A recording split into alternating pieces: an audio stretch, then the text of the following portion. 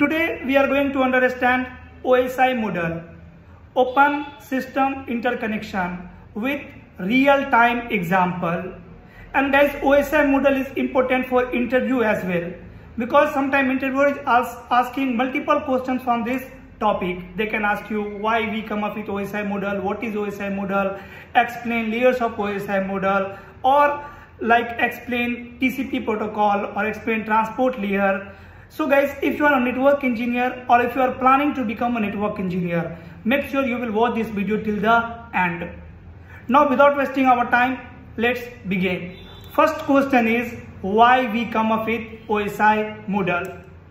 So guys, we come up with OSI model to make communication possible between different vendor devices. Different vendor devices means See, nowadays, a Juniper routers are able to communicate with Cisco routers or Nokia switches are able to communicate with Juniper switches or Cisco switches. You know how? Because of OSI model. Because the process for communication is same on Juniper devices as well as on Cisco devices. Cisco devices, Dell devices, HP devices, any vendor devices, right? Guys are designed by following a common process, right? All devices are designed, their hardware and their software, both are designed according to OSI model.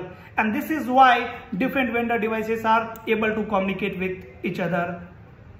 But if I will talk about before OSI model guys, so before OSI model, Dell computers was not able to communicate with HP computers or IBM computers, right? Dell computer was able to communicate with other Dell computers only. IBM computers was able to communicate with other IBM computers only, right? Means different vendor devices was not able to communicate with each other. The reason process of constructing a device, designing a hardware or designing a software was different, right? Dell has their own process, their own protocol, IBM has their own process, own protocol, right, for the communication. So this is why different vendor devices was not able to communicate with each other.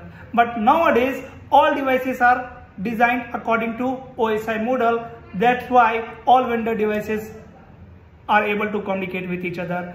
So guys, hope this point is clear to you, like why we come up with OSI model. So we come up with OSI model to make communication possible between all vendor devices. And OSI model is like a blueprint, right? One organization designed one common process for the communication, right? And they have distributed that process to all vendor companies.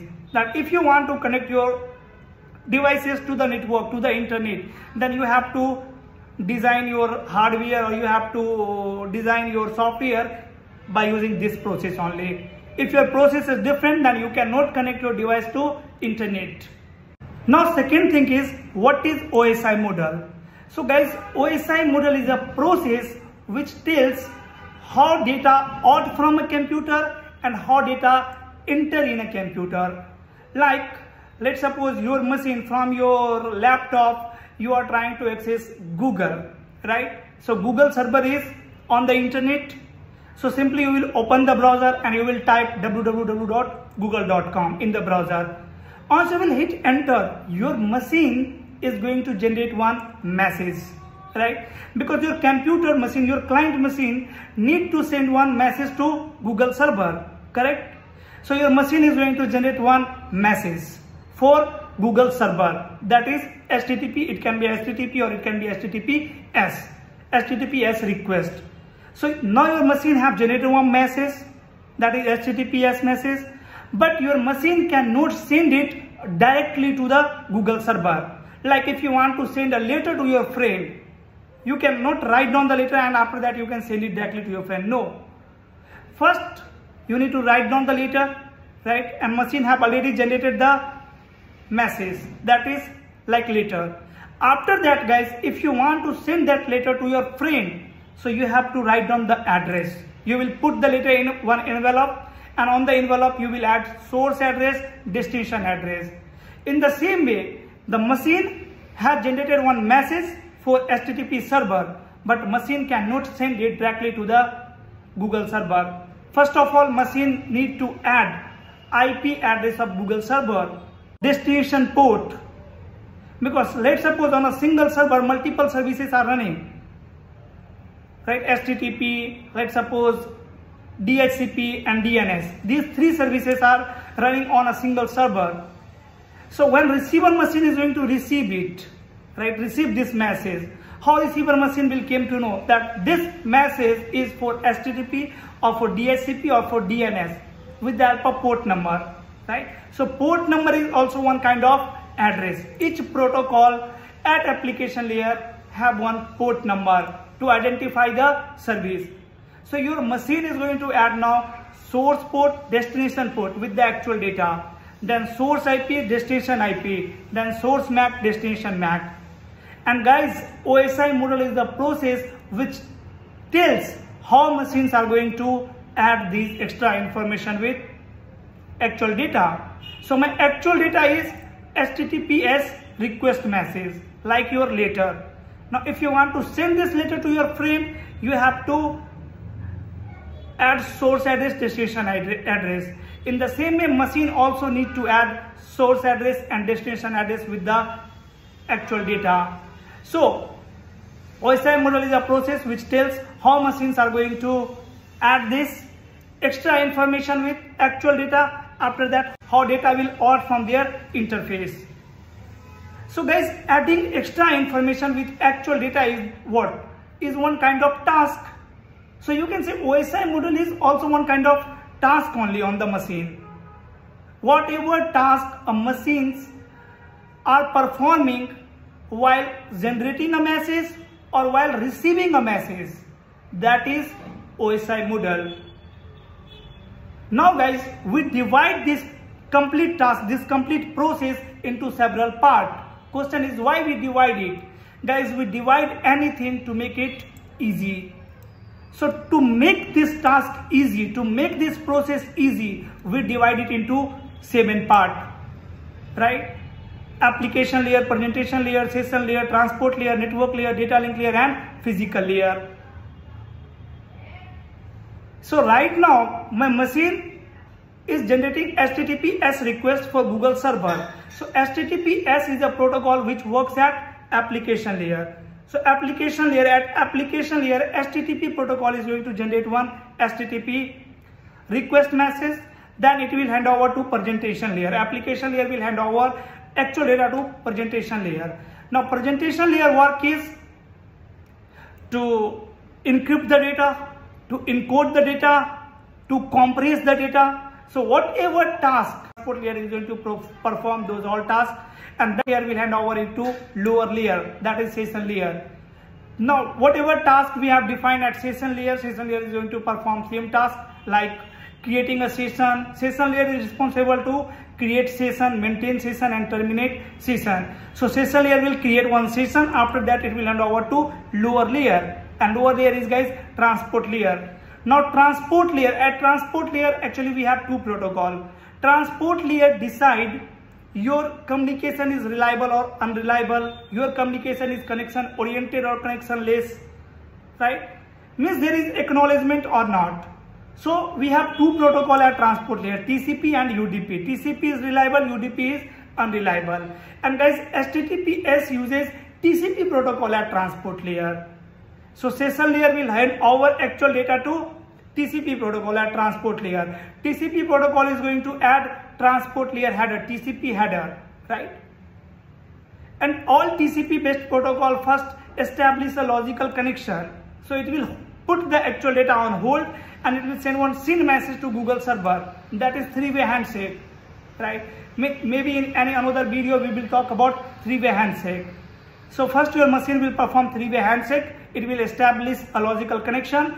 After that, it will hand over actual data right with transport layer header with source port destination port to, a, to the lower layer means to network layer. Now responsibility of network layer is adding source ip destination ip so network layer will add source ip destination ip then network layer will hand over to lower layer. And guys at network layer protocol can be your ipv4 protocol ipv6 protocol right? Then it will hand over to lower layer. Lower layer means data link layer. Data link layer is going to add source MAC, destination MAC. After that, it will hand over to lower layer. Lower layer is physical layer. And at data link layer, we have some protocols. Again, nowadays we are we are uh, using ARPA protocol at layer 2, at data link layer 2, encapsulate the frame. Right. So for encapsulating packet at layer 3, we have IP protocol.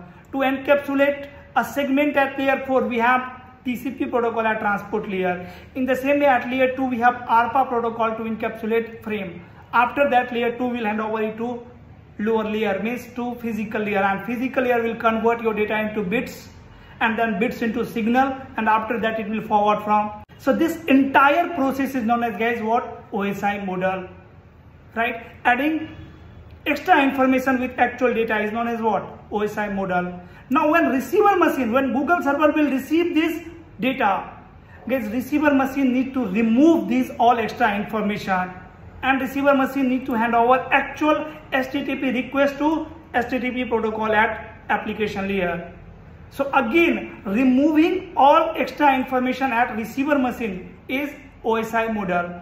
So what I told you in the beginning, OSI model is a process which tells how data out from a computer and how data enter in a computer or in other word you can say OSI model is a process which tells how a sender machine is going to send the data and how a receiver machine is going to receive the data. That is what OSI model.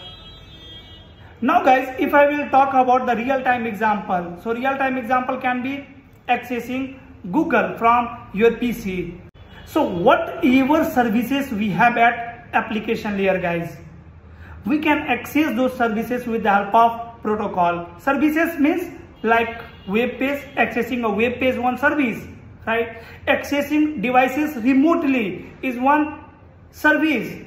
Again, to achieve this service, we have two protocol. One is Telnet, another one is SSH. Then sending file, sending mail. These are what? Services on your computer. Right? So we can access, you can use any service with the help of protocol.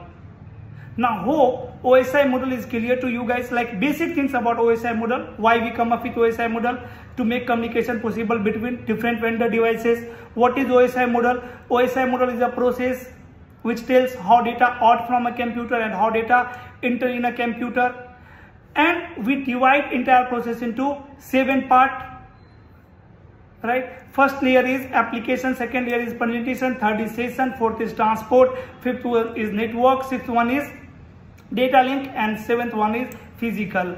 Guys as a network engineer you are going to work on lower four layers. Means at transport layer network layer data link layer and physical layer. Generally software engineer works on upper layer. Upper layer means application presentation and session so as a network engineer, you are not going to work on upper layer. You are going to work on lower four layers.